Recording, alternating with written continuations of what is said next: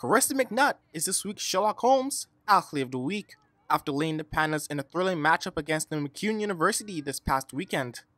Feels like um, the things I did on the field this weekend paid off and that I got rewarded for it, so it feels pretty good. With a tough battle between the Pandas and the Griffins in the first half, McNutt was subbed into the match to start the second half. Breaking two deadlocks between the teams, McNutt scored the first goal and then the game winner in the 89th minute of the game. McNutt has a goal! That's oh! Karissa McNutt! What an a absolutely gorgeous goal!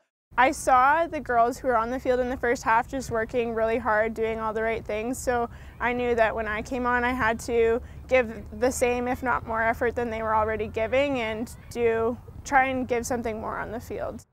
This is the first time the Panthers have gone to the semifinals since 2014 but also marking the final game for McNutt at Foote Field after a five-year career with the Pandas. I think I was smiling all day on Sunday after the game. Um, the team has worked really hard for this, so I'm just really happy that I could be the person to help all of us get to where we closer to where we want to be. And what has this Panda player learned after five years on the field?